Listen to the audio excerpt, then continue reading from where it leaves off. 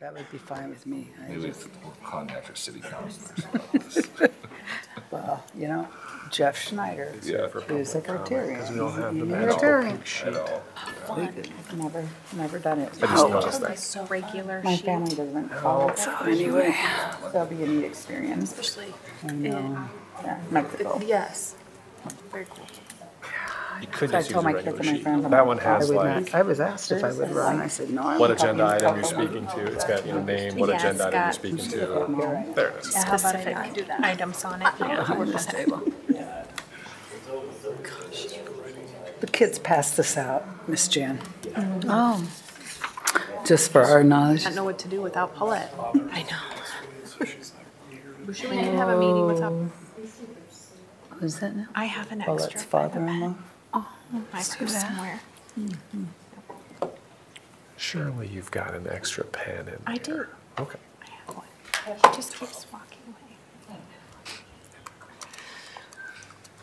You guys gonna be doing this? Structure. I don't think it's gonna get used anyway. I think Leah's got a pen. May not get it back, though. That's okay. Yeah, there you go. Still probably have a carry a work sack? pen I've here, got one here. Okay. That's perfect. You know, I need to talk to Lindsay about getting the kids costumes. I don't think I, usually there's a costume store in town. I don't think there is one this year, is there? Usually they have one in the mall. Uh, No, I've not seen a standalone, but Yeah, Walmart has a lot of they have stuff, yeah. yeah. When does our new Yeah. Paulette start? Hmm? When does the new Paulette start? End of the month or the beginning of November. When's Paulette's? Yes. End of the month. Same time, so we've got them coinciding nicely with each other. They're transitioning this week, actually, some, so. Well, they were. It may be next week now. You Good? Okay, we will call the meeting to order. This is the time and place for the October 17, 2022 regular school board meeting for the Marshalltown Community School District. Welcome to those of you uh, attending here in person. Welcome to anybody tuning in via the live stream or watching later on uh, at their convenience. Let me do introductions here before we get going. Board members at the meeting tonight, to my right, Zach Wall, Bonnie Lowry, and Jan McGinnis. To my left, Karina Hernandez, Sarah Faltis, and Leah Stanley. Uh, Joining me here at the center table is Dr. Theron Schutte, the superintendent of schools. I am Sean Heitman, and then we've got three of our student board members here tonight, uh, Natalie Andrade, Jackson Eisenbarth, and Yesenia Alvarez Zamora. Uh, We've got a pink sign-up sheet here on the speakers table. If you're here to uh, give public comment or to speak to any agenda item, we'd ask that you please sign up there. Um, Please understand that Iowa law prohibits the discussion of specific employees of the district or their job performance. Please also understand that due to or per board policy, board members may not respond to any comments that are made. With those items out of the way, would you all please join me in uh, reciting the mission statement of the Marshalltown Community School District? We develop learners who have the knowledge, skills, and positive mindset to successfully pursue a meaningful future through personalized learning experiences. And please stand as you're able and join in the pledge.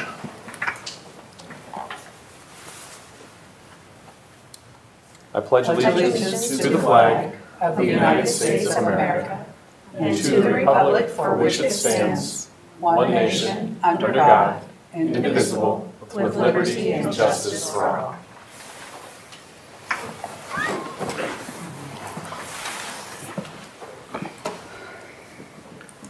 Are there any amendments or changes to the agenda? Uh, the only change is that we will need to table, uh, agenda item five point oh two, pandemic funding overview due to, uh, Paulette's absence today. Okay. With that, is there a motion to approve the agenda? So moved. Second. McGinnis, Lowry, all in favor, say aye. Aye. Aye. Opposed, say no. Motion is approved. Adam?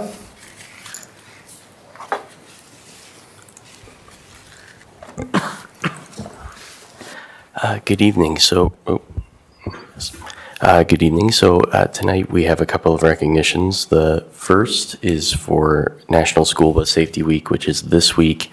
Um, it's the beginning and end of the day of the school day is one of the most crucial time periods, and our transportation staff do a great job of making sure that students get where they need to go safely and efficiently. So uh, they are a really key aspect to actually getting students into the classrooms and back home successfully, as well as to and from school events successfully. So uh, we're really appreciative of all of our transportation staff, including bus monitors and bus drivers. And uh, uh, I also want to, you may remember last year we had some colorful signs put, or uh, not signs, but uh, artwork put in place uh, saying look both ways at each of our schools. So it serves as a really good reminder, as this whole week is, of uh, just maintaining awareness and keeping safety in mind, especially as you're uh, moving about the town near our schools during the beginning and end of the day. So. Um, and then the other recognition last week was National School Lunch Week. So again, I don't think I, I need to explain the the importance of uh, a healthy school lunch as well as the breakfasts we provide to our students. Those fuel learning kids uh, need a full belly to learn optimally. So our our food service staff does a great job of providing that to all of our students. Thanks, Adam. Thanks. Looking at the consent agenda, uh, we've got minutes from the October 4 uh, school board meeting. We've got personnel items. Dr. Ryan's not here, so I will assume there's nothing of great note. Although I did notice a certain individual as the seventh grade basketball coach. We're expecting great things. Yeah. Our first practice was this morning. Uh, Interagency agreements and contracts, we've got a contract with the Iowa Department of Public Health for the Personal Responsibility Education Program, a counseling service agreement with Wild Spirit Counseling Services, a partnership agreement with Every Step Grief and Loss Services, a counseling service agreement with Boys Town, Iowa, uh, an amendment to the contract with the Iowa Department of Public Health for the sexual risk avoidance education program, a conflict waiver with Ahlers and Cooney, and an amendment to the end user license agreement with Infinite Campus. Questions about any of those agreements? Karina, I assume you're going to abstain when we get there? Okay. Uh, Open enrollments, we have two, one in and one out. Uh, We've got bills and the financial report, and if Paulette were here, I would ask her if there was anything of note, and she would undoubtedly say no. Then we've got the Teacher Quality Committee members for the 22-23 school year. Uh, Is there a motion to approve the consent agenda? Move to approve. Second. Same. Lowry Faltis, all those in favor, say aye. Aye. Opposed, say no. And are there any abstentions? Abstain. Motion carries six to zero with one abstention. Nobody's on the pink sheet, so Amy, you guys are up.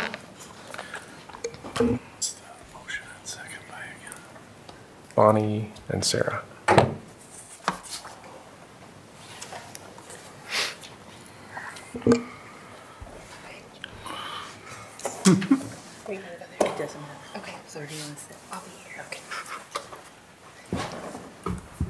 Good evening. Good evening.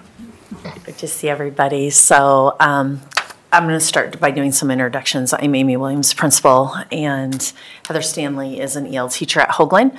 Um, Mallory Kern, instructional coach at Hoglan, and Molly Tafta is a preschool teacher at Hoglan. Um, You're going to see some videos of Deshauna Garth and those board members who were able to visit Hoglan. Um, Last week, saw her in action. Um, She's at New Teacher Mentoring tonight, so was unable to join us.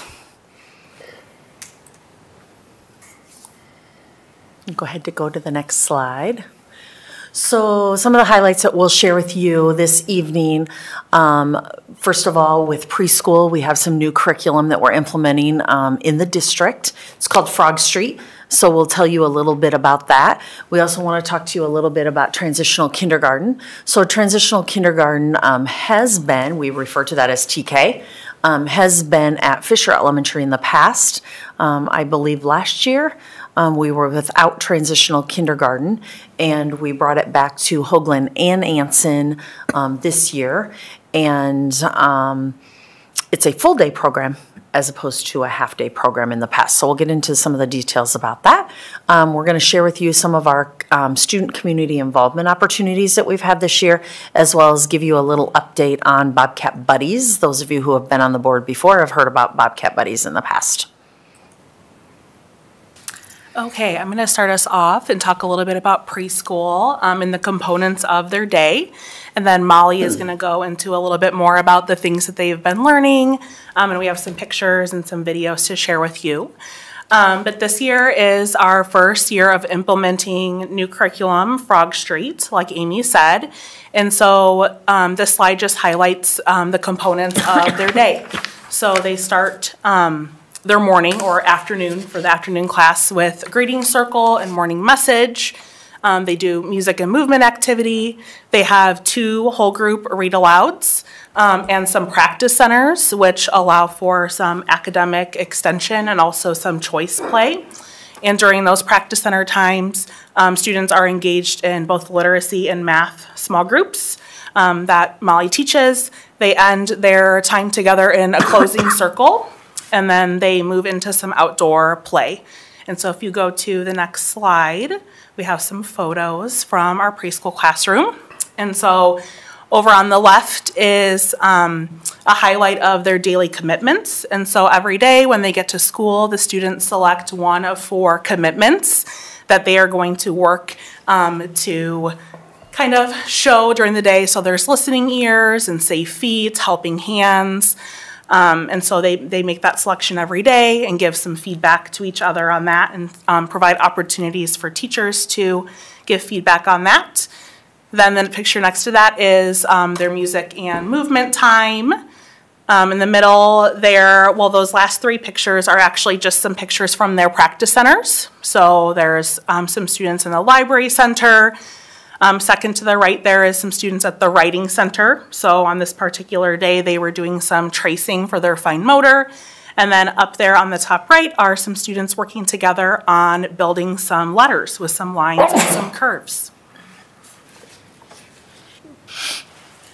Um, and so I will talk just a little bit about the content. So these are all of the themes that will work through the entire year. Um, so far, we are halfway through theme two. Um, each theme is four weeks. And um, so we've been talking about families. And one thing that I really have enjoyed with this curriculum is that it's like very cross curricular. So we talk about families during our read aloud, and then we also talk about like big and small and math, and we can take that back and refer back to families. We have small families and big families. Um, and so the themes kind of go across all of the content areas. Um, and you'll see that in one of the videos on the next slide that I'm using a read aloud book to um, teach my small group math lesson. Um, and I also enjoy that all the different themes are very um, interesting to four, four and five year olds. And so the kids are excited to learn about them and excited to get to a new theme and a new topic. Um, so yeah, you can go to the next slide.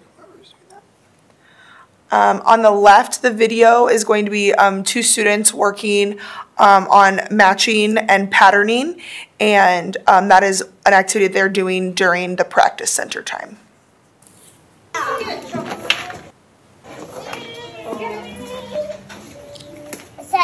Okay, take it. Okay. I'm gonna read my book.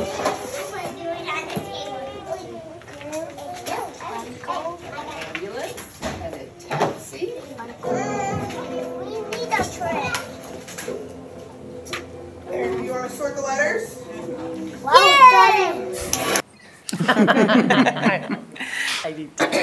and then that video is um, a video of me teaching small group math. And again, I'm using a read aloud from the previous week as the beginning of our math small group to teach that math lesson. So, we've been talking about families, right? And we talked about how families can be small or they can be big, okay? So we're gonna go through this book that we read last week and look at the families and we're gonna count how many people are in each family. Esther, scoot over so you can see the book. Scoot over, Jeremiah, so you can see the book. We're gonna count how many. Let's start on this page. How many people are in this family? Let's count them. Ready?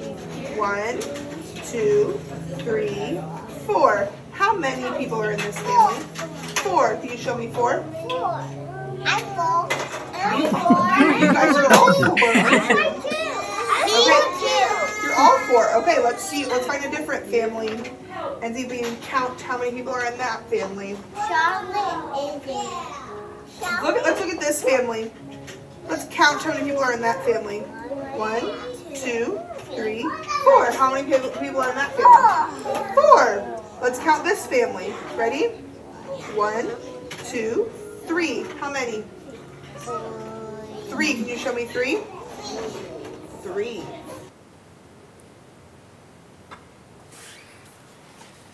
So,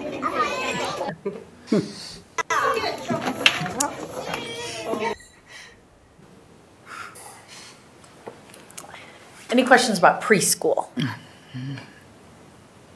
They come to you, you can ask at the end. So transitional kindergarten, TK. It is kindergarten. Um, it's a full-day program. It uses the same curriculum as our kindergarten students are exposed to. Um, they have and attend special area classes that are the same length um, as our um, kindergarten class uh, students do. It's intended for kids who are young for kindergarten and could benefit from greater social, emotional, or academic development. Um, and so, what we do as um, community preschools, as well as our own district preschools, is we have conversations with families and we make recommendations for them. So if they fall into that arena of April, May, June, July, early September, August, and early September, um, and we see um, that socially, emotionally, academically, that they could benefit um, from a program like TK, we might make that recommendation to families. It does offer a smaller class size. We cap off at 12. Um, I believe Anson and Hoglan are right in that eight or nine range right now. Um, and the emphasis that we've really worked to include is on social emotional learning. And when I pass the baton to Heather here, she's going to go through the daily schedule and kind of talk about some of the differences between between TK and um, kindergarten. Um, some people will say, you know, transitional kindergarten goes at a slower pace. It really doesn't. And so hopefully looking at um, some clips of the schedule here will, will help you better understand how it's set up. Okay, so um, you're looking at the TK daily schedule. So the, the morning starts just like any other classroom with breakfast time. And then one difference is the morning meeting um, chunk is bigger or longer than any of our other uh, grade levels at Hoglan because it encompasses all four components of responsive classroom. So um, we have, we do the greeting, the sharing, the group activity, and the morning message. So those of you that were there on um, last week got to see all four components of that morning meeting. And so it usually takes about 20 minutes or so, maybe 25 minutes. Um, and so um, as an e the EL teacher, I am in there with um, Shauna, um, and I went to responsive classroom training, so I've kind of taken that over, um, that component. She hasn't been trained yet, but I've done that and really enjoyed that. Um, and then the literacy knowledge, that's just like the kindergarten classrooms have. We use the CKLA curriculum and we're co-teaching that together. Um, so I, I push in for that whole time. And then it goes to purposeful play, which is another, you know, another part of the, the classroom that's different. It's responsive classroom, different than the other um, classrooms. Go Math, just like a kindergarten classroom, Lit Intervention, ST Math. Those are all things that you would see in a kindergarten classroom. They have lunch, they have recess. Quiet time then, another component of responsive classroom that Shauna is able to have in her schedule. Um, and as you see there, it's just intended for that stress reduction and cognitive development, and she gives them different choices to do. Um, and then lit skills, again, same as any other classroom, recess, math flex, their specials they get to go to. Um, and then the centers and the SEL intervention, that just helps reinforce the content skills, like things that we've done during knowledge. Um, Shauna has some centers that they can do some things with that and some other things that she comes up with. And then the closing circle is also a component of responsive classroom. And that gives that closure to the end of the day um, in a purposeful way. So her schedule is built off of including all of those things from responsive classroom. So you would see that if you spent a day with her. The one thing too to note with the literacy intervention time, that's actually taught by a Title I teacher and it's supported by the TK teacher. So in kindergarten, um, our, our students might go to Title I reading and in TK, the, the title teacher pushes in and really teaches it from a core lens because they all need that extra intervention time. Um, so this is a little bit about um, responsive classroom. Heather talked um, about that, and I just wanted to share um, kind of the foundation of that. You've probably heard about it before. That core belief, um, both for social and the emotional competencies. So you can read those five areas um, that are focused on, and a high level of focus in TK, and then also the academic competencies that are included when we implement all components of responsive classroom, and those five areas are listed up there as well. Can go to the next slide. Okay, so as we talked about with the responsive classroom in the meeting, during our morning meeting, there's four different components, the greeting, the morning message, the sharing, and the group activity. And so in the first video on the left, you're going to see an example of a group activity that's called Would You Rather? So let's go ahead and play that one.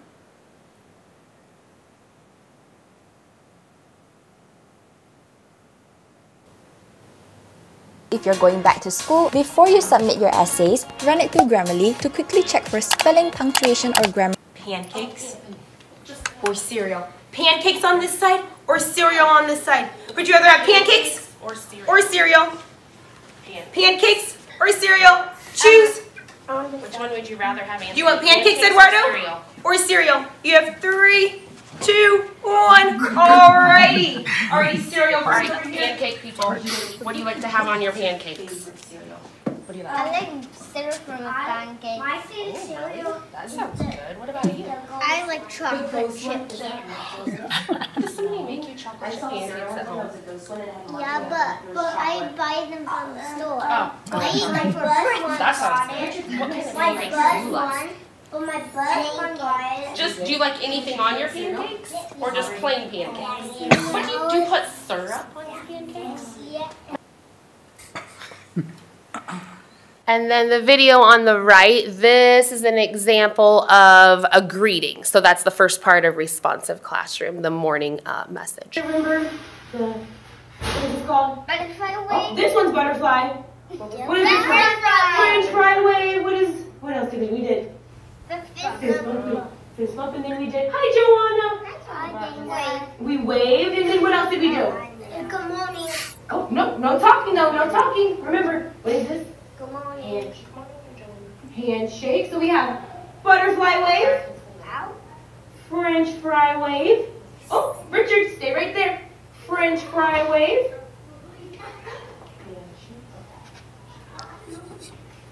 This time, is there gonna be any talking? No. No talking, no talking. Hi, Anthony. Come on and sit down. So in that video, they were practicing. We've learned different ways to do a silent greeting. Um, and because that, like, they can even use like in the hallway when we talk about having our voices off, but we can still give a silent greeting to our friends. So they've learned lots of different ways to do that um, as we have gone through um, this this responsive classroom in the morning meeting. Questions about TK? So how does TK interact with like preschool and regular kindergarten? What's the cycle there? Yeah, so um, it's kindergarten. Um, At the end of TK, so conference time, come March, we have conversations with, with families on what's next. And the option is kindergarten or first grade. And we will definitely be making recommendations to families based on their data, um, versus, based on their development socially and emotionally. Um, generally speaking, um, districts that have TK, the majority of the kids go to kindergarten. Um, I can't say that all of them will and all of them, you know, have. Um, just a generally speaking piece of that. So they typically go to kindergarten after TK? Okay. Yep. Other questions? The children who are participating in TK, have they gone through preschool? Some yes and some no. Yes. and one of the things that we're very careful about is um, that TK doesn't become like a dumping ground for all of these kids who might have, you know, maybe some significant behavior concerns or significant academic concerns. And we really look at the individual child um, to try to determine um, the best programming and the best fit for them. And one of the things I know that, that we love is that small group learning time. It's a super supportive, um, but yet opportunities for independence um, within a smaller group. Um, and so that's been beneficial, we feel, for our students.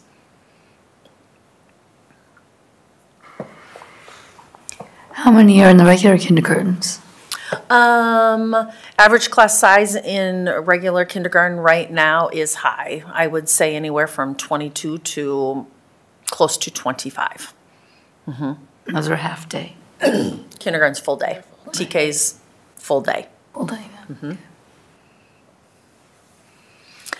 Okay, so tree planting. So September 21st, we had the opportunity to collaborate with um, the University of Northern Iowa, the Center for Energy and Environment Education, as um, with a grant, the Marshalltown Planting Hope Grant. And we were able to plant um, 21 trees around the grounds of Hoglan. So we structured it at Hoglan where um, volunteers within our community um, came along with um, people from that Center of Energy and Environmental Education from University of Northern Iowa, and they really um, planned to engage all of our students in tree planting. So um, the holes were dug, the trees were delivered, the trees were big, which was fantastic, and um, but the kids got to. Push dirt in either with a shovel or with their hands or their feet. Um, they got to help cut the roots of the trees and um, really learn kind of about tree planting. Um, I went out with, with most grade levels and if I was going to plant a tree in my yard, I would do it very differently than I would have thought. so, um, and just taking care of the trees and how it's good for our environment and, and respecting our school grounds. And these are our trees. We planted them. Um, and years down the road, they're going to provide um, great shade for our school grounds. So if you go to the next picture, the next slide will show pictures of students engaged in um, the tree planting um, project that we had at Hoglan. Great opportunity of learning for our kids.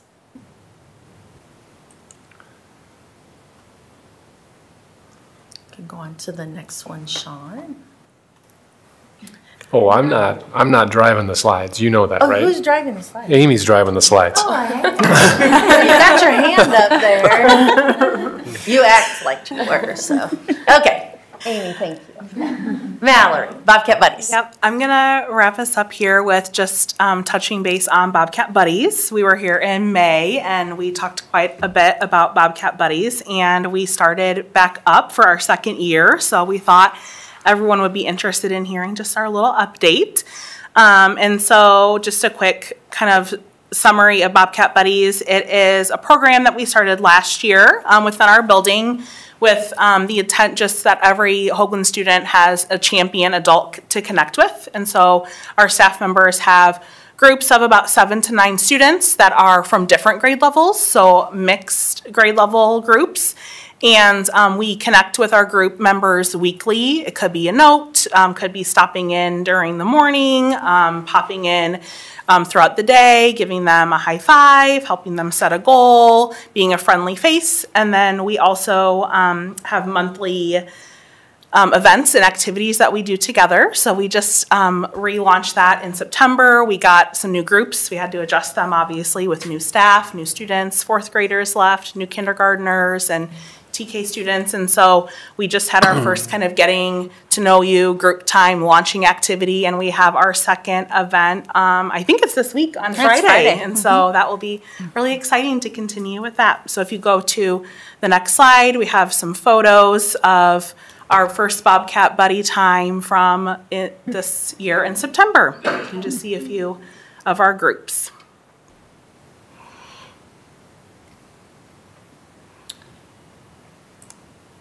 How big are the groups? Yeah, you're going to notice that seven to nine, it looks like a lot more because we put two teachers in a room. So if there's ever a teacher absent, you've got your backup teacher who then takes all like 14. But the picture down here at the bottom shows actually three adults, four adults.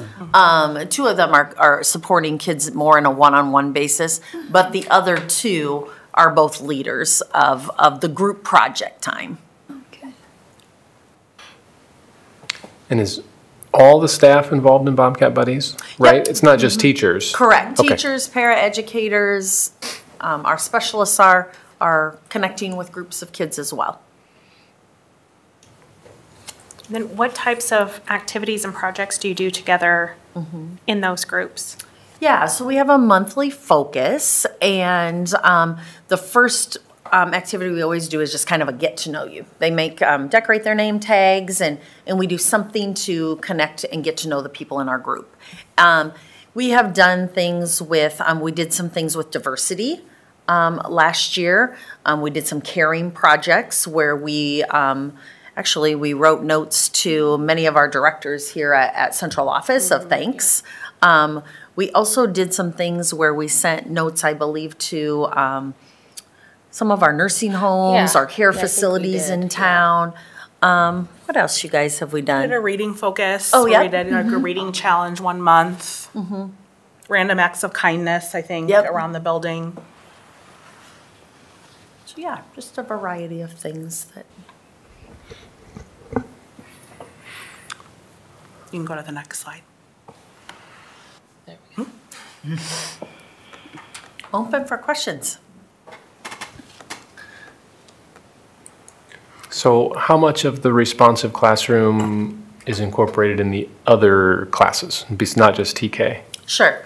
So, um, when we started the 22-23 school year, we had two people trained, myself and a, um, Title I reading teacher. I started off right away, because my question was, I just spent four days at this training, like, I want to implement it. So I did TK. That's how I started the year. Um, so every day I would go in, um, and then when Heather got trained, I stepped out of TK, she's now leading TK, and I will jump over to our significant disabilities program and, and start leading it there. Um, we had, um, a classroom teacher, um, Heather, an EL teacher, our instructional coach. Anybody else trained last time? I think that was it. The three of you. it, yeah. Um, was just trained in September. And so they are all responsible for doing some sort of implementation. Our team of five also on our last PD day, um, we're trying to build some capacity within our building. And so we do do our own morning meeting slides for our full building, but teachers now have the options to use the one that we've re, um, that we've planned for the building with a, um, they align to the SEL competencies. Um, or they can implement greeting and group activity. And the only reason we gave them two out of the four components to implement is, first of all, it's, it's new learning for them. And second of all, our master schedule for all other grades is not set up to start your days with 20 to 25 minutes of responsive classroom. Um, we had that choice as a building to set up your master schedule with responsive classroom integration or without. Well, with two people trained, obviously we're going to do without. and um, but we're really excited, and I think our our building staff um, we're building some excitement and some energy there, and, and um, I'm hoping to see some training dates really soon coming out, even for hopefully June. Um, And hopefully, we can get a lot of people interested from Hoglan in, in being trained in responsive classroom. But our intent would be those of us who are trained to continue to, through Professional Development Mondays, um, keep giving them little tidbits of learning from responsive classroom. Amy, you shared with us that you had, conver- you have conversations with families with regard to whether children should be going to TK or kindergarten. Um, We do have some private preschools in town as well as Sure. Head Start and MICA. Um, Are there any conversations going on between those classrooms? Yeah, so Emily is here tonight, and Emily does work with our community preschools, our Head Starts, um, to help them also understand um, what TK is and how to make recommendations, you know, which kids are the right ones. I will tell you, we have a, a long ways to go in that arena. Mhm. Um, there is not consistency. Um, Mr. Manis at, at Anson and I are both kind of feeling, feeling that. Um, we have had buildings reach out to us this year, you know, these kids are in our kindergarten classrooms. I think TK would be better for them. And when I talked about that, we have to protect TK so it doesn't Mhm. become this dumping ground of this classroom full of, of behaviors or kids with such low academic skills that um, we have to, ha- we need peer models in that program too. And so we're looking for that balance um, there. So we're pretty selective. Um, and there's just, it's new. There's a lot of learning to happen there in Mhm. terms of what's the right um, way, what are the right conversations to have, who are the right kids to Mhm. put in that program. It's good to hear, though, that you're focusing on some of those other programs that are outside the public school right now to help them have really good starts with foundations to get started in school. So thank you for doing that. Welcome. Thank you, Emily. Yeah. She does a lot of that work. So I'm trying to picture this. TK has responsive classroom fully intim- implemented, but kindergarten does not? Nope. Okay. And none of our other grade levels are, um, have responsive classroom fully implemented. But is your intent to fully implement it all the way through? It is with all of our elementary schools, um, but it takes staff training. We can't expect implementation. And responsive classroom is a four-day training. And so we're asking teachers to do it um, in the summer. Um, Or we were able to send three people in September, um, but one of those was a classroom teacher. And we did have to do some coverage within our own building. Our intent was also to, to send um, Deshauna, who's our TK teacher. Uh, We just didn't have enough subs, and we didn't have enough um, people within our building um, to cover for a full four days. It is hard, yeah. Any other questions? Well, thank you very much, guys. Thank you guys for having Thank you. us. Nice work, thank you.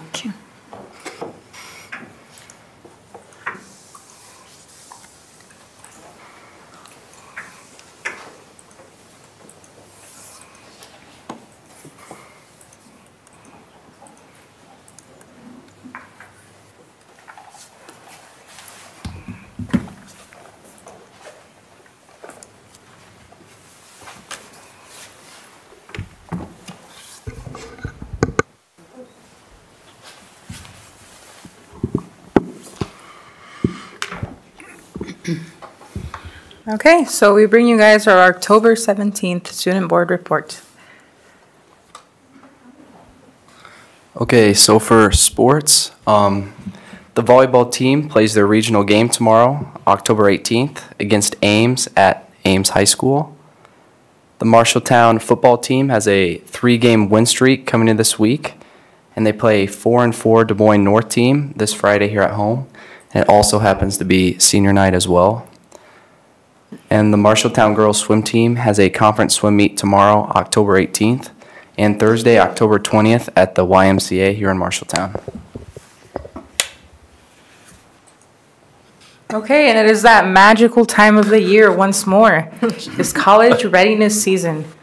So, um, college bound juniors even are starting to think about where should I go to college? How am I going to pay for things? So, they're starting to go out on campus visits, both individually and with the schools. College bound seniors, a lot of them are working on their applications, and some of them have even already been accepted to their first choice schools, which is always good. Scholarships and FAFSA, FAFSA, FAFSA is something that a lot of students are working on and contemplating. Some seniors are going to be taking or retaking the ACTs, which are always um, implemental for scholarship um, receiving, I guess. And while a lot of schools are ACT optional nowadays, that is always recommended if you're trying to obtain that extra kind of economical assistance. And the next date is this Saturday, October 22nd. So do wish them luck. So I'm going to pick, kind of piggyback again on what Yesenia said. So um, this October 12th, students just were tested for PSAT. Uh, 20 to 30 students were tested, and many of them took it for the second time, and they felt that they were more confident in their performance. Um, I wanted to give a virtual math update. Um, teachers had their trainings October 7th with prisms and headsets. There were 20 teachers, instructional coaches, and administrators that attended. Teachers explored algebra lessons and the dashboard to see how they could improve and implement it in their classrooms. 30 VRs will be used for geometry and algebra. They will be rotated between Marshalltown High School, Miller, and MLA. They are developing content for science and math into middle school and high school. Uh, you can refer back to the sheets I passed out beforehand in the meeting. Um, Trunk or Treat will be hosted by Student Senate this year.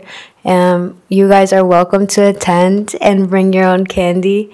It will take it, will, it will take place on October 31st from 5:30 to 7 p.m. But you can get there earlier around 4:30. It's open to local businesses, groups, or clubs, so feel free to invite any businesses like the YMCA, Emerson, La Careta, any local businesses. Um, and also, there will be a competition on who has the best vehicle. So, yes. The QR code leads to a Google Doc. You can sign up and register. Thank you. Just to clarify on the Prism, so there were, there, there's 30 headsets that are designated for the high school, another 30 headsets that are designated for the middle school, but likely to be used mostly at the high school um, until the general math curriculum becomes available, which will make it more universal. So there's actually 60 headsets that will be able to be rotated between MHS, MMS, and MLA. So. So do you know the teachers tried out the headsets? Were they excited? Uh, from my teacher, Mrs. Pierce, I think they were excited. Okay. Yes, what I heard. But you haven't seen them yet in the classroom? No, I have not seen them. I heard they're coming soon. Thank you. Thanks, guys. Thank you.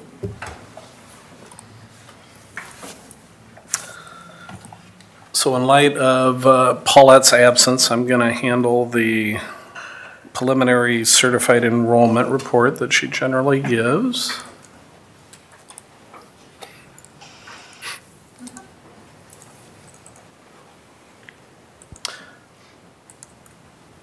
Um, And I'll say up front, this is a good news story.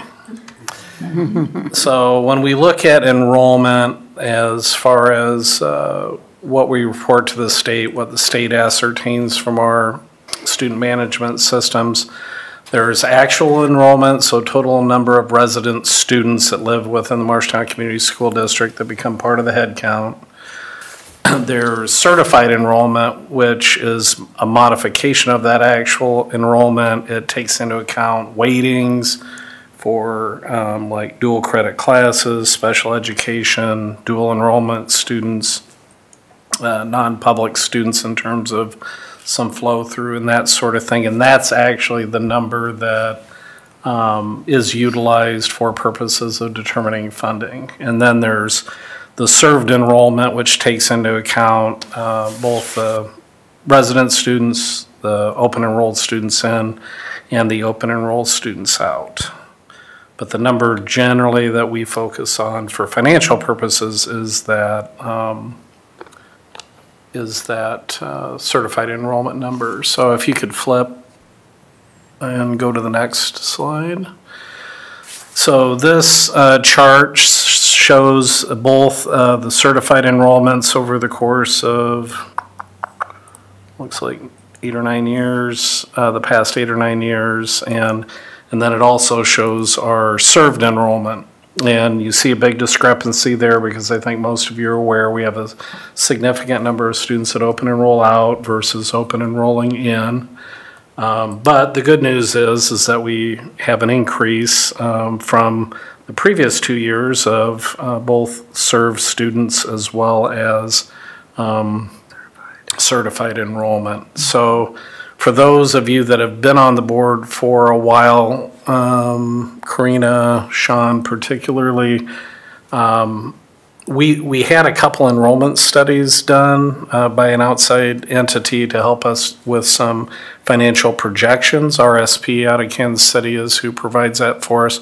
Our first one we had was probably in 2017, uh, pre-tornado.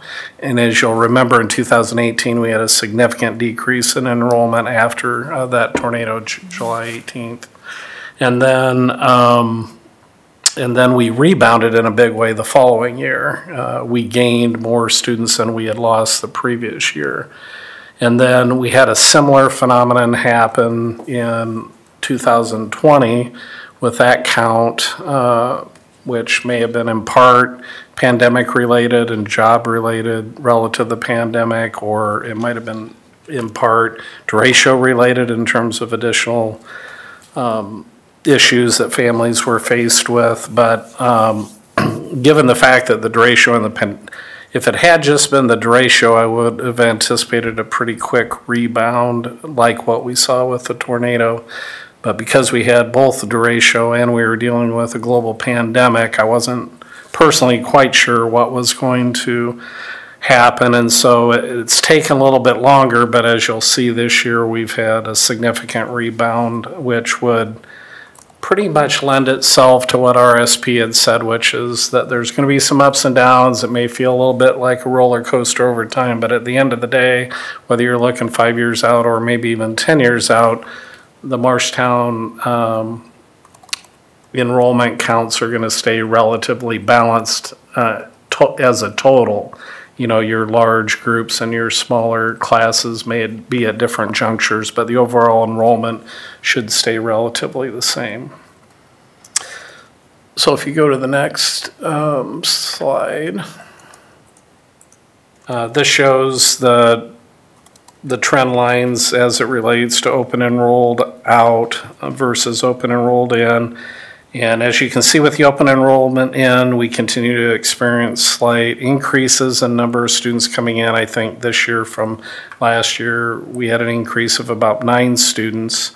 Uh, But we actually had an uptick in open enrollment out this year, which kind of goes against the trend. The trend had been a reduction of open enrollment out, and we have an increase in open enrollment out of uh, 29 students. So if the, the net loss is about 20 students between the 29 going out and the nine additional that are coming in.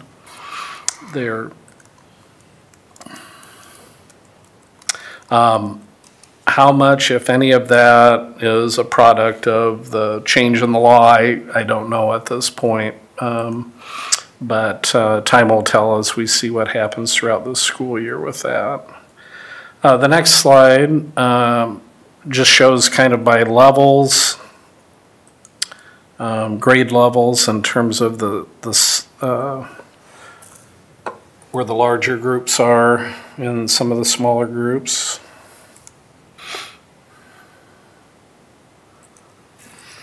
And as I think most people know, we've been, we- we've been experiencing and graduating some of the largest classes that we have in the district, and we've been um, bringing in, as far as preschool, kindergarten goes, smaller classes than what we're graduating. But um, the nature of our district, you can't, in a lot of districts, you can project your, what's going to happen with your certified enrollment based on kindergartners in and seniors going out.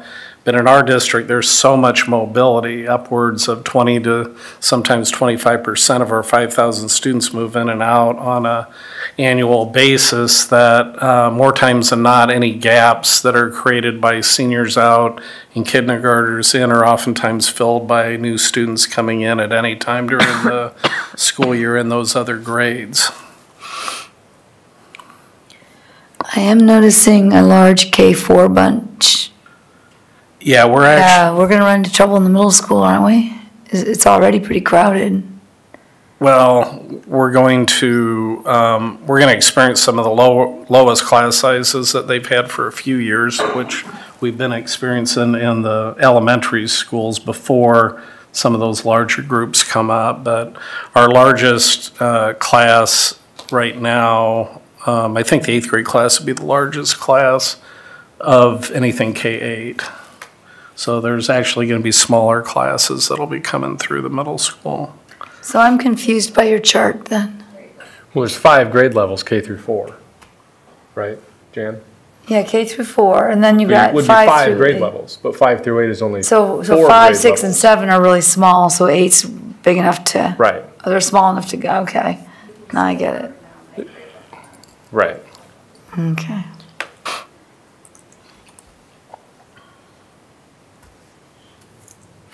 And again, the good news is after having a few years of much smaller um, incoming students at the preschool and kindergarten level, those are starting to, to grow once again.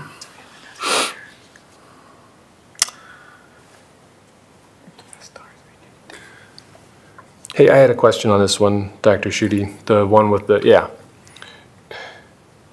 I understand, or I've always thought anyway, that the jump from sixth to seventh is in part because the Catholic school goes K through six, and then we get some of those kids coming there. What accounts for that jump from eighth grade to ninth grade? Do you have any idea? Um, you, you know, I, I don't, other than the fact that I believe that, that historically is a juncture for which I think the students that attend the Christian school could um, come over. So if they so choose, some of them come over at, um, at middle school or maybe at Lenihan. But ultimately, if they wanted to stay in that programming, it goes through eighth grade and then they could come over. But I think a, a large uh, part of that is I think we probably have a lot of students who were open enrolled out that are coming back at that juncture because they're recognizing the significant difference in course offerings and extracurricular offerings and other things that the high school has. Because I mean, that, I mean, your, the ninth grade class has almost 450 kids. Yeah. That's just amazing. Mm -hmm. So, and we've had a little bit of discussion about that. Paulette pointed that out too as a, a trend and just based on anecdotal conversations that I've been hearing from people, and I think Shauna's been hearing from people, I think a lot of that is, you know, when people really look at what we have to offer versus what others are offering, that they're, it's appealing for them to either come back or come into our district at that point. Yeah, because they're, they're actually up 23 from eighth grade of 22 is 424, and then it goes up another 23. That's a pretty big jump. Yeah, and, and again, too, um, you know, uh, we have influx of families all the time throughout the, the course of the year, and so, um, we don't, we're not down to the detail of knowing how many of those students are at a particular grade level that, they come as a result of their parents, um, accessing jobs and that sort of thing. But, um, I I will mention that the, the numbers that are being shared are preliminary. The state has been very specific about saying, please do not treat these as golden numbers until we get into the first of November. And, and they have made sure that uh, within their system, there haven't been any glitches or that there aren't any uh, changes. But essentially for uh, certified enrollment purposes, uh, we'll have an increase of 87.39 students. Um, In our resident student count, there's um, a jump of 53 students for uh, total students served, an increase of 66 students. So when you take out that, that net loss of approximately 20 students for student enrollment, you know, it, it jumps down from 87 for financial purposes counting, but some of those dollars will flow with those children. Uh, But it'll feel more like a true uh, increase of 67 students, which is, which is significant. And um, I think on the next to last slide, maybe, um, Paulette has given, well, on the last, yeah, the next last slide, she states that, you know, with this kind of increase in student enrollment, if we're at 2% as far as the state increase uh, gets determined by the legislature, that's going to be, be a 3.68% increase for us. Um, in funding. And then if it winds up being as high as 2.5, that'll be the equivalent of a 4.19 increase. And we haven't seen those levels of increase in quite some time, probably, so, probably since pre-pandemic for sure. So. So anyway, it's a good news story as far as certified enrollment. Um, Hopefully, next year we can get back on that trajectory of, you know, continuing to reduce open enrollment out and increasing open enrollment in. Uh, Those numbers are relatively small in terms of the differential, but uh, the aggregate numbers obviously are large, so. Any questions? I guess I, I think I would just want to piggyback, um, kind of a story, then ask another question is, I, I'm coaching, uh, youth activities, and I had a parent come up to me about a month ago and talked about their experience in Marshalltown. They moved to a different district and, um, they open enrolled their kid back here. Uh, after they found out what curriculum we offer and how well their student was doing in the Marshalltown School District. So the open enrollment back here is a plus. The question I have is, we talked about mo- mobility issues with um, kids, you know, coming from employer, a couple employers in town where they come various times during the year with the new law change with open enrollment. Are they going to calculate it differently, and would that help us with some of the kids we get past October? Um, no, um, it, I, I think there will need to be some adjustments. Uh, I know that we've got a couple uh, regulations relative to open enrollment that we've made an adjustment on based on the, the legal change that took place, doing away with the deadline. But I think that there's going to need to be more um, information, especially relative to how the funding works with that. Now that um, now that people could essentially open enroll in or out at any time of the year and not have to file by a March 1st deadline. So even though, for example, we'll be recommending approval of or um, marking as reviewed some policies today, I wouldn't be surprised if some of those policies and or regulations come back to you this year as they figure out some of the things they didn't think about when that decision was made. Um, But uh, what happens is, uh, with open enrollment anyway, uh, you can get, um, or changes in enrollment, you can get authority to spend dollars on behalf of those students. You just don't have the cash to back it up until the following year. So. And, um, you know, again, uh, you know, it's just kind of the nature of our community and the jobs when, you know, uh, when our largest employer has a mobility rate of, you know, whatever it is now, 30 to 35% or whatever, you know, that's going to largely impact um, our, our student numbers throughout the year with students in, students out, so.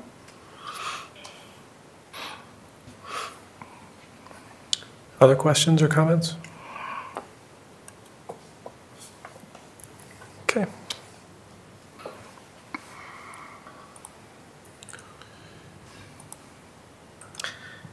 Okay, so item 5.02, the pandemic funding overview, um, needs to be tabled. So we need a motion to table that. So moved. Second. McGinnis, Stanley, all in favor, say aye.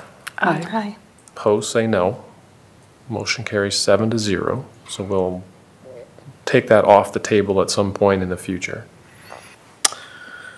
All right, we're up for pickleball court update and Doug D. Molinaire uh, from Did you wanna- Garling. Did you want to do 503? Oh, I'm The early sorry. retirement? Yeah, skip that.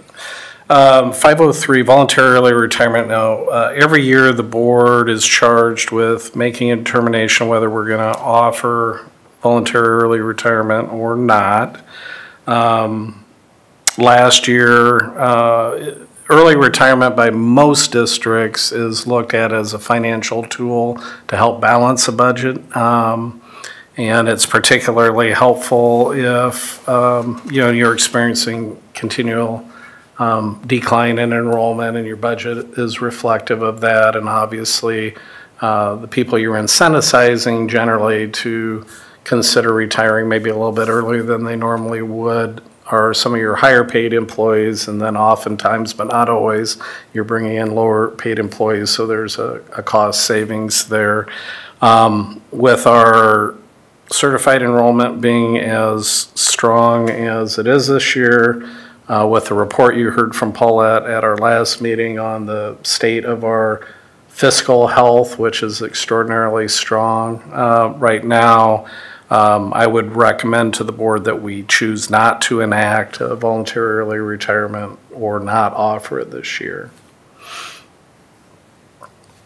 Staff shortages also obviously play into Yeah, that. what And I was la- thinking. last year it played in, but again, having been a couple years from when we had offered it, um, really felt like um, there was a need to provide an off-ramp for people who qualified for that, which was the only reason. Um, As it turned out, you know, we wound up in a very similar place, but with different pos- unfilled positions, even when offering uh, early retirement from the year before. But um, obviously, the staff shortage uh, factors into that as well. You know, why incentivize people to go earlier than they ordinarily would if you're having difficulty filling the positions that you have? Well, when you look at our projection from our certified enrollments, it looks like we may be needing to offer it again in a few years, even if we're not offering it now, because your numbers are going to start going down on your students, correct? Um, It's hard to tell. Um, More, more years than not, we've had increases, but again, to what degree, um, you know, the tornado, the duration of the pandemic created relative to those decreased in enrollments. Um, That was, those were big issues as it related to the years of decline that we had, I believe. So um, it's just hard to know, I think, and that's why it's important to, to address this every year. Well, it makes sense, it does. It's just that I'm looking at ninth grade, 445, eighth grade, 426, then you get down to second grade, you're down to 342. So if those numbers hold, yeah, you do need to address it every year because it's going to change every year what your needs are.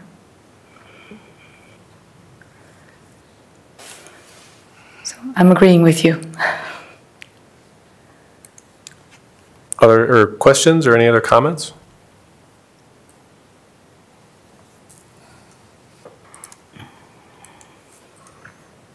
If not, is there a motion to approve not offering the early retirement incentive for fiscal year 2023?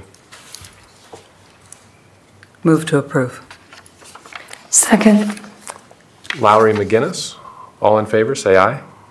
Aye. Aye. Opposed, say no. Motion carries seven to zero. Okay.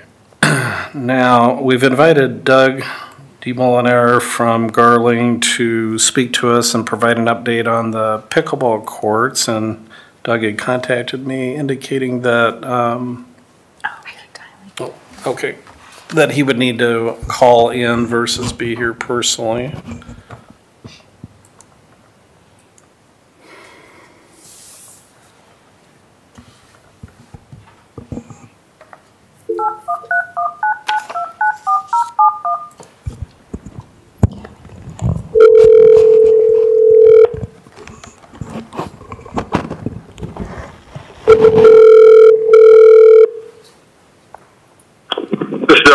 Hi Doug, this is Theron. You ready? Yeah. I'm ready. Okay. Get on. Well, I had just shared with everyone that I had asked um, if you would present an overview as to where things are standing on at- with the pickleball courts. Uh, As people know or remember, um, last February, March, we started to recognize there was a, a bit of an issue with the wall as it started bowing. And then, of course, in April, when we had the high wind event, we had uh, the collapsing of the northernmost part of that pickleball wall, which was very visible. And, and then over time, we've had, uh, you know, more of the soil or the earth um, fall from that area, which has resulted in damage at least to the northernmost pickleball court and us um, cordoning that off so that people didn't use it for safety reasons. And so um, often myself as well as uh, our board members are asked by the general public where are things at, and I thought it would be best to, for them to hear it from you. Understand. Um, good evening, everyone. And uh, I, I'm Doug DeMellner. I'm the owner of Garling Construction. Um, we've been uh, the way this started out. Obvious, there was a problem with the wall, and through some investigation, we come to find out early on that Brian um, uh, Graff with Dirt to Turf. Can everybody hear me? Okay. Yes. Yes. Okay. Um, skipped a step, a very important step, and did not have the wall engineered. Uh, any wall over four foot, as common knowledge, has to be engineered. Um, he didn't, he didn't get it done. So nonetheless, that's the bottom line of why the wall failed.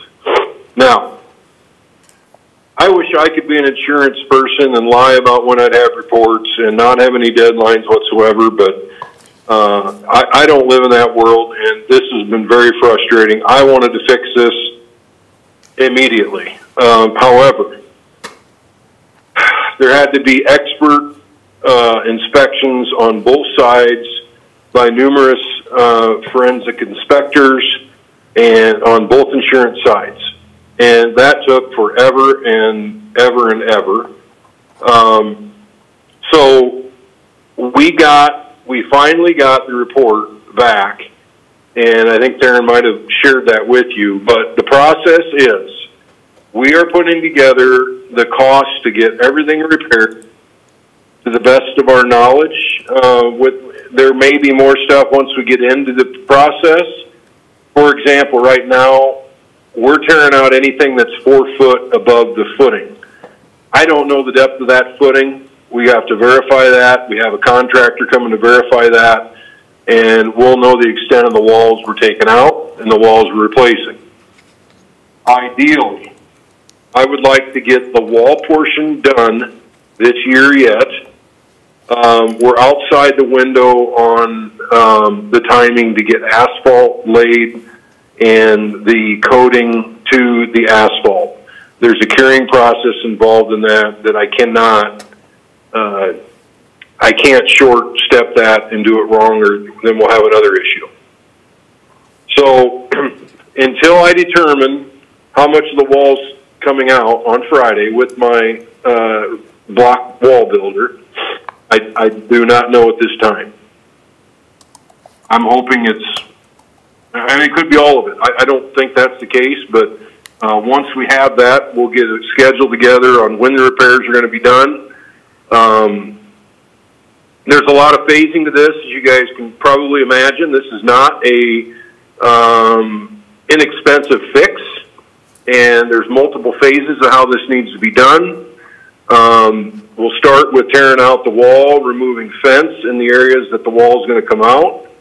Uh, we have to remove asphalt and anything that was undermined, um, and we have to get fill back in. Uh, and the wall has to be put in per engineer's recommendations. Um, I don't know how much asphalt's coming out, but if there's any question on any of it undermined, it's coming out and being replaced so to have a good rock base so there's no issues down the road. So once the asphalt's put back on, I'm sorry, I skipped a step. Once the wall's built, they will be in, installing the foundations uh, and some, some sonotube, I believe is how they're gonna end up doing this, and, and kind of building the wall around the sonotube to hold the concrete piers for the fence. And once that's done and backfilled, they'll pour the piers for the fence. Uh, they'll put the new fence in, we'll put down the asphalt, we'll put down the coating, and then after the coating, we have to restripe, and then there'll be some landscaping repairs from where we're gonna tear out the retaining wall and put it back.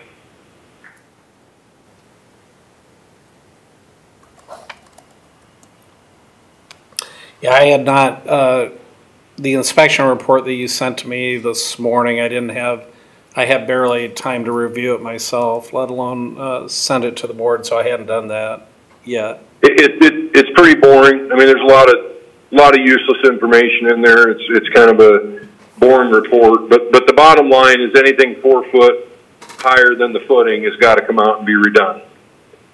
And I am, uh, going to engage CGA and pay them to be, uh, basically your eyes. Um, so that uh, everything goes back and, uh, they can see what's going on. They can review submittals, whatever you guys are comfortable with.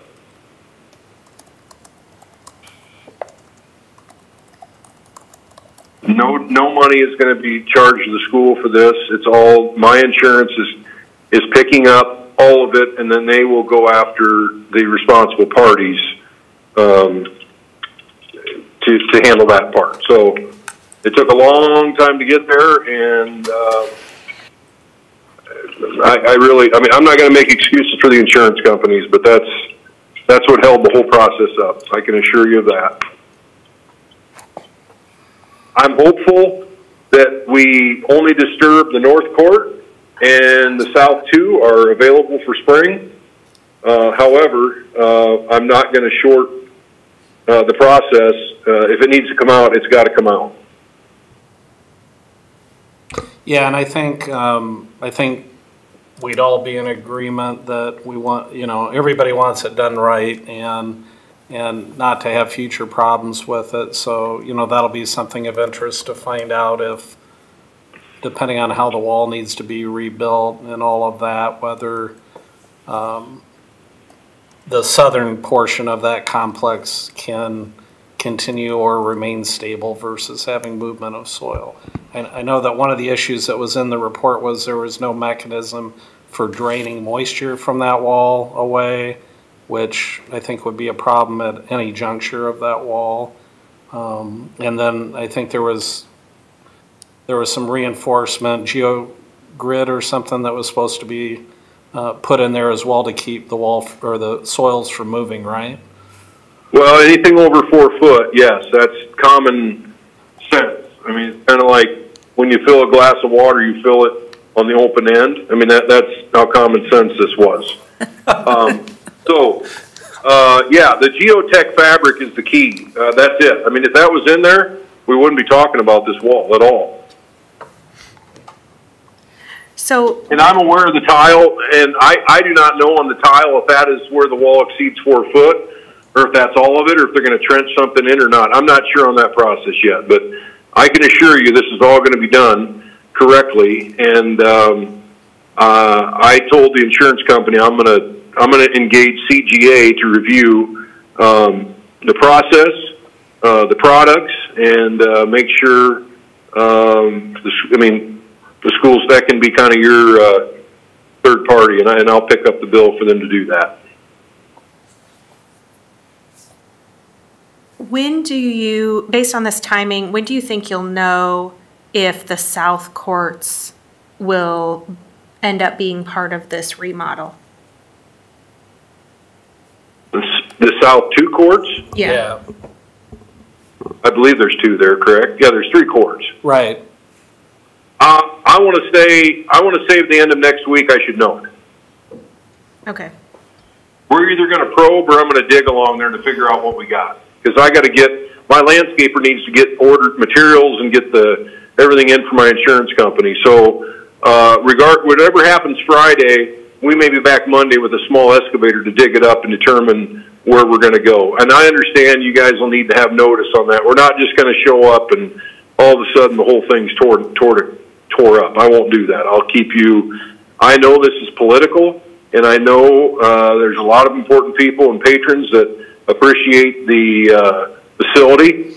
And I, if I could go over there tonight and wave a magic wand and fix it, I'd be there. Um, Well, I, I but sus- that's uh, that, that, that's the process. Yeah, I suspect, Doug, if you had a magic wand, you'd have waved it a long time ago. Uh, correct. It probably wore out by now, but anyway.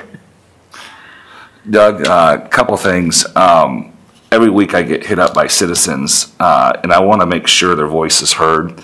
On the South Courts, um, they're claiming that the, the court may be leaning, tilting a little bit. Can you verify that, or has that been verified? Is, and, and the second thing is, the wall is not on the, it'd be the south side, is not four foot, but just looking at it from an eye scope, it is not level.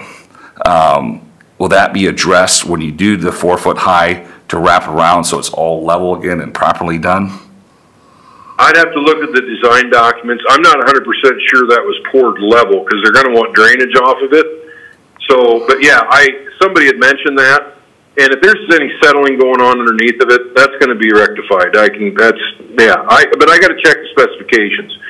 Uh, because these things tend to have a little bit of slope on them, um, so you don't have puddles. If you're out there playing on it after a rain, you don't have to squeegee off puddles, but we'll be looking at the original specifications to make sure nothing else is settled. If anything's undermined, it's a hundred, hundred percent being torn out and redone.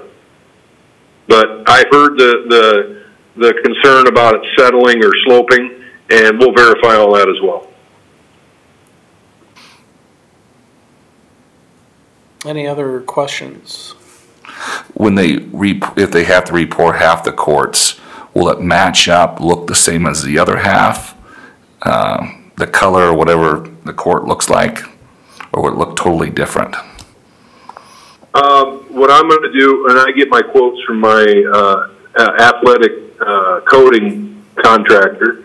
I will simply ask him if there's any fading on that. We'll just go ahead and recoat the whole thing. It's got to look new. I'm not going to have this look like a patch. I understand the concern, and I have that as well. I, I'm not going to go paint the corner of this, and it looks like the the patch corner. It's a conversation piece for years to come. We're not going to have that.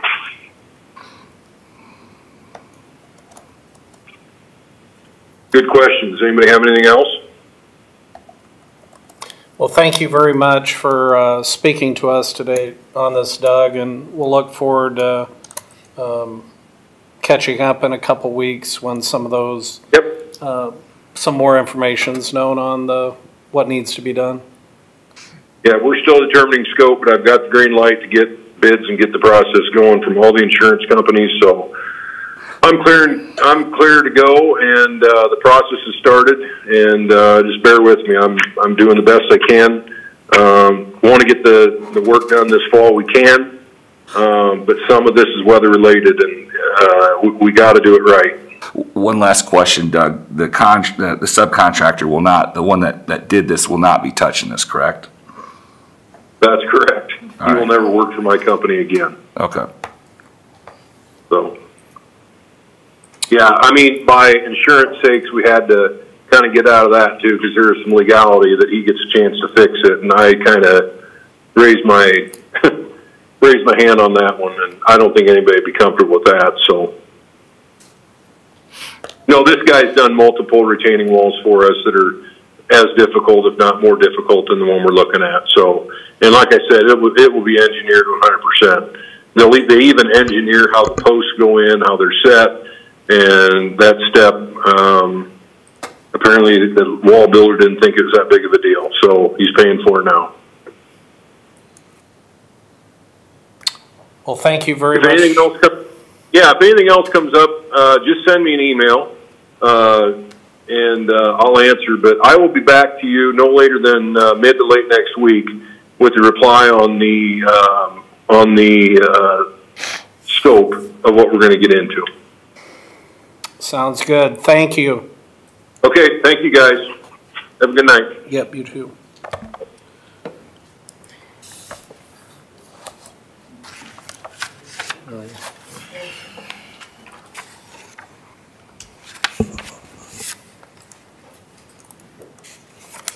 Okay.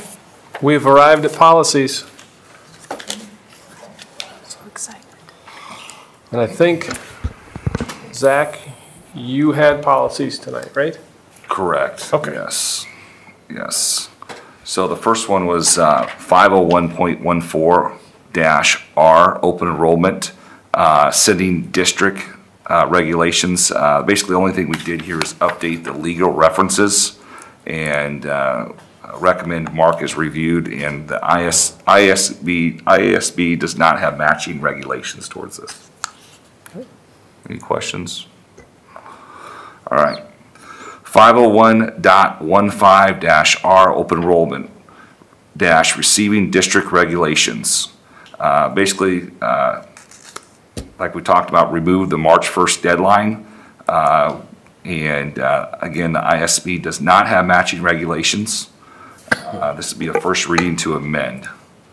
Any questions? Yeah, so that'll come back Yep, for first that one will have to reading. come back. Yep. Okay. All right. What does it mean when it doesn't have ISB regulations? They, Well, they, it's not a policy for the Iowa. district at some point created their own regulations Okay. with their attorney probably.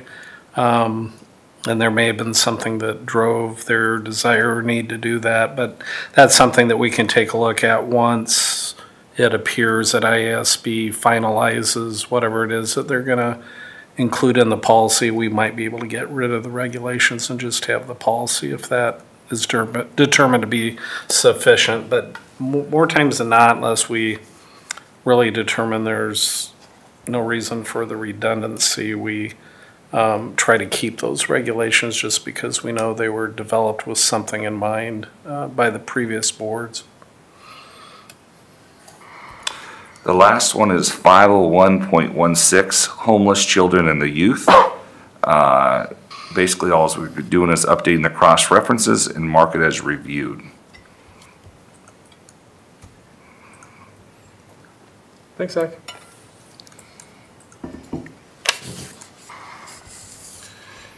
Uh, Looking at reminders, Sarah has policies for the November 7th meeting. Um, We've got the schedule there of upcoming presentations to the board.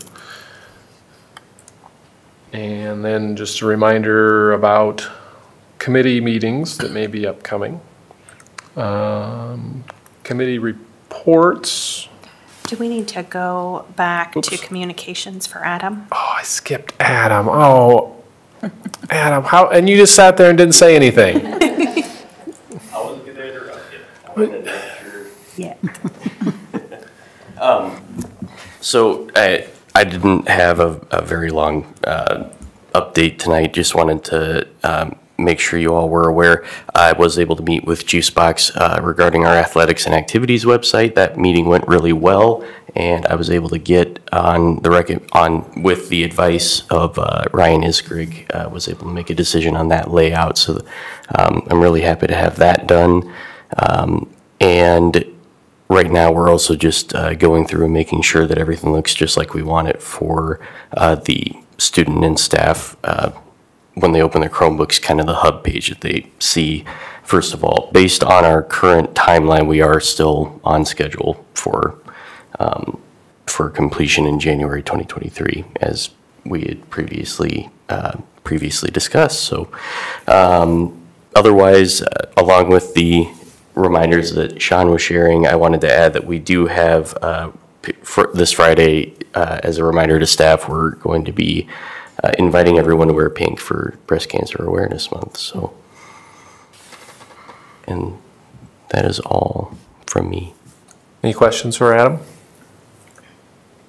Okay, thank you. Thanks. Thanks.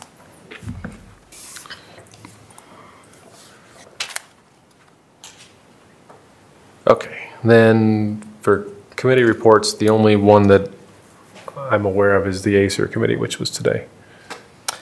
Yeah, so Acer met today, and most of the entities were able to be represented. It was the first time we had been back to an in-person meeting since pre-pandemic, so that was kind of nice. Um, Both the county and city talked a lot about um, construction projects, which were coming to closure as we head into the winter. Um, I think the biggest one to note from the county was talking about um, their transitioning into the courthouse uh, with the idea of being completely out by um, the latter part of December.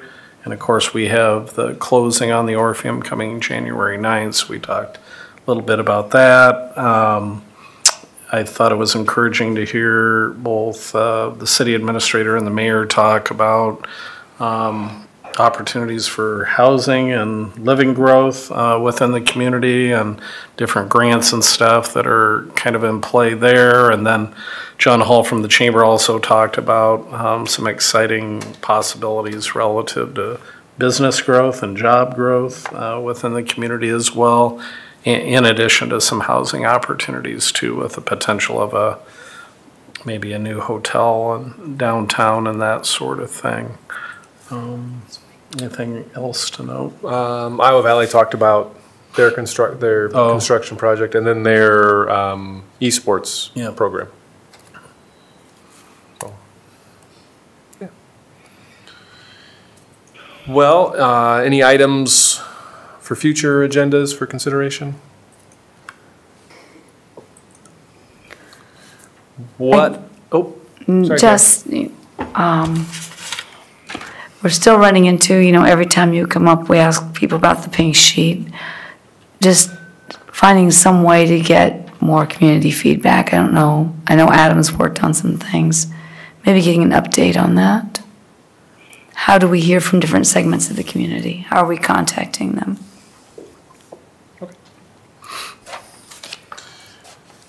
What have we done this evening to improve education for the students in Marshalltown?